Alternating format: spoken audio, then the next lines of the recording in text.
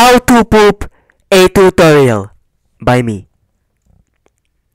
Introduction. Why would you to poop? You may have a painful feeling near your rear area that something must be released, but fear not, as this tutorial will cover how to remove that feeling. Step 1. Locate. Find a location to perform your duty. Haha, get it? Note, you will preferably use the restroom, which are in most public areas and are included inside your very house. Step 2. Find your toilet. You will then need to sit on a toilet which looks like this. Step 3 Alternative. Just in case there isn't a toilet available, you have your last option to use a urinal. Ladies may skip this step. Step 4. Prepare.